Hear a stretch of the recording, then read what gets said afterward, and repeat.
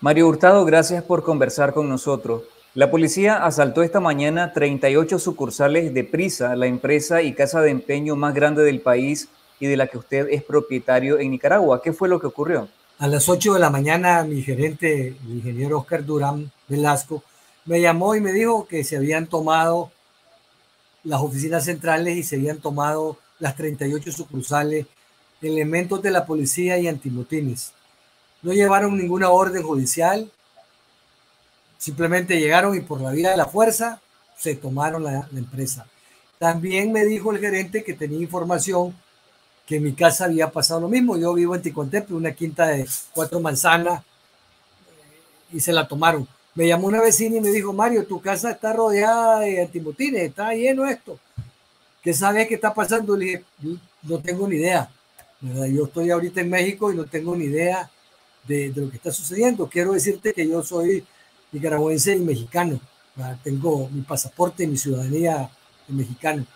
Entonces ya me reporté con el consulado, ya me reporté con la Secretaría de Relaciones Exteriores de México para pedirles apoyo como mexicano, porque como nicaragüense no hay nada que hacer, ¿verdad?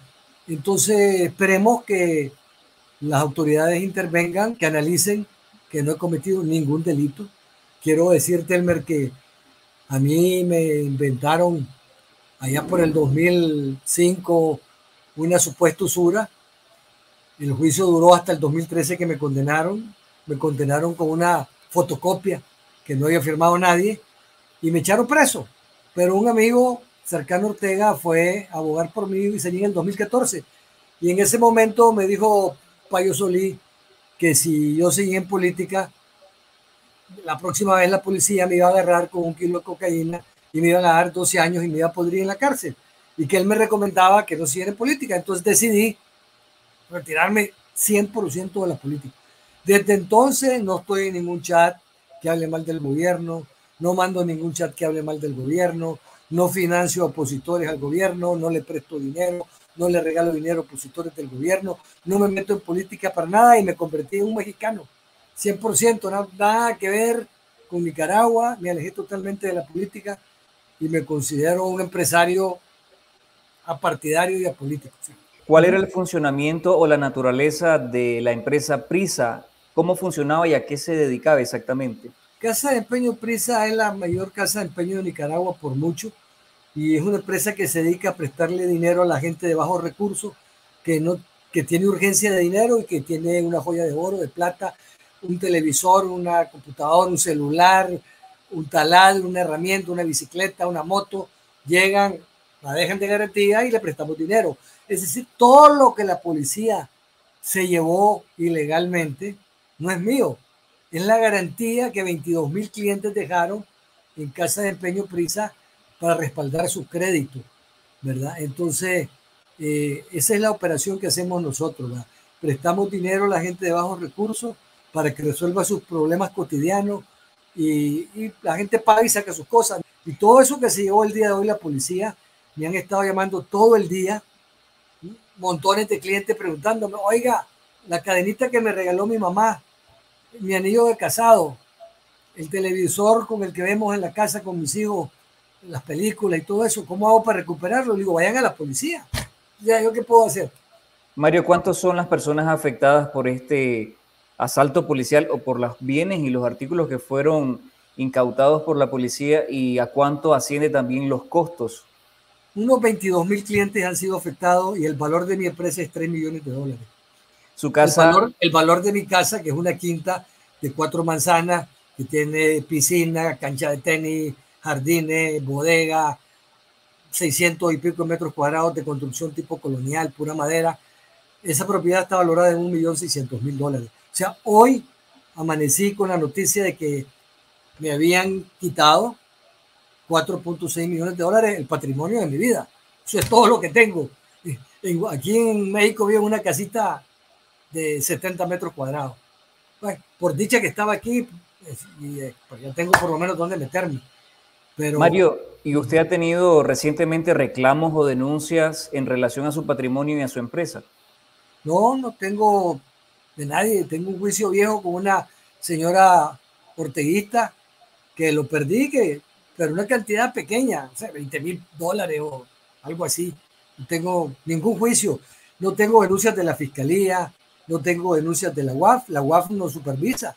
Permanentemente están visitándonos, revisando todos los documentos, hemos cumplido con todo, vamos al día con los impuestos municipales, eh, fiscales, etcétera. Entonces, la verdad, estoy sorprendido. Ahora, ¿qué pueden inventar? Eso está fuera de mi alcance, pero ni notificaciones, ni juicios, ni nada tengo con las autoridades de la Dirección General de Ingresos, de la alcaldía, etcétera. ¿A qué atribuye entonces usted esta medida en contra de sus negocios en Nicaragua? No tengo ni idea. Quiero decirte que yo fui sandinista, milité en el frente, combatí contra Somoza, combatí contra la Contra en el batallón 5013, fundé el bloque de profesionales y empresarios sandinistas que ahora lidera Pancho Chico López, fundé eh, una organización gremial que se llamaba UNID, que ya cerró, ¿verdad? Eh, me retiré del Frente Sandinista, ¿verdad? Me volví opositor a Ortega, trabajé 12 años con el diario La Prensa de manera gratuita, haciendo humor político y escribiendo artículos serios también. Eh, pero me retiré de eso hace muchísimos años. Pues, no sé, 2010, 2011, 2000, por ahí ya no tengo ningún vínculo con la gente de la prensa. Eh, pero me preocupan dos cosas. Primero, los 22 mil clientes y mis 150 empleados.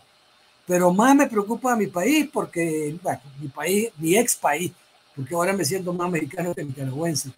Eh, porque soy mexicano, ¿va? Aquí tengo mi pasaporte de mexicano y quiero decirte que sí me preocupa todos mis amigos empresarios que me han estado llamando y me dicen, Mario, decinos la verdad, estás metido en algo de política.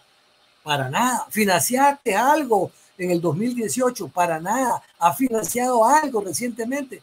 Para nada. Ni he financiado, ni he donado, ni me meto para nada. Y entonces me llaman, me, llaman mis amigos empresarios afligidos me dicen, si no hiciste, desde el 2014 no te metes en la política, han pasado ocho años, y vienen y te confiscan, Dios mío, yo que escribí en un chat tal cosa, cuidado, un día estas me dejan en la calle. O sea, hay una angustia en el sector empresarial de que han vuelto las confiscaciones. Esa es la realidad, ¿verdad? Y yo le, a todos los amigos que me han dicho, le digo, bueno, poné tu barba en remojo. Eh, yo lamentablemente confié que había una cierta, un cierto estado de derecho en Nicaragua y dije, como mexicano, pues seguiré dejando ahí mi dinero, generando empleo, generando riqueza, pagando impuestos. Entonces dije, no, no me meto en nada, no me van a hacer nada. Pero me equivoqué. ¿Y cómo impacta este tipo de medida al ambiente y el clima de inversión nacional y extranjera en el país? Horrible. O sea, ahora así como confiscan una casa de empeño de 22 mil clientes, mañana confiscan un banco y dejan a la gente en la calle. Ya no te digo las otras casas de empeño, confiscan un banco y dejan a la gente sin sus ahorros, ¿verdad? Sin nada.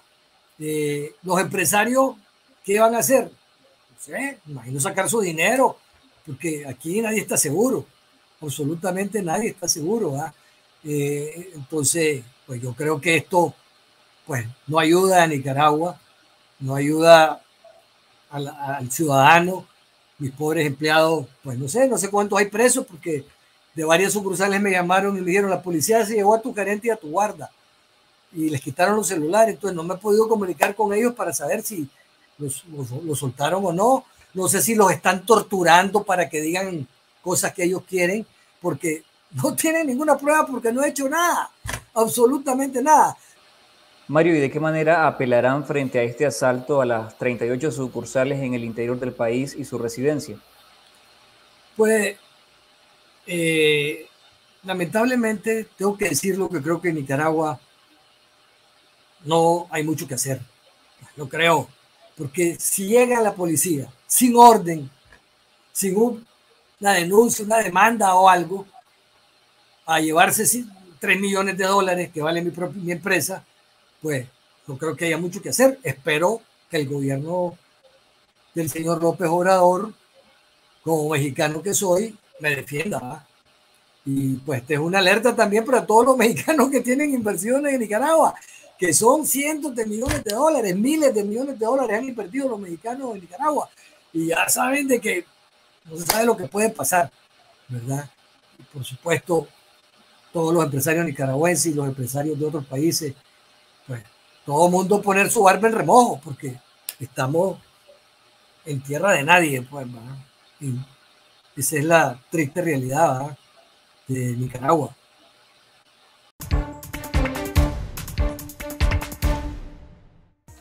Gracias por ver este video y si aún no lo has hecho, suscríbete a nuestro canal en YouTube, activar las notificaciones para recibir las noticias del momento sobre Nicaragua.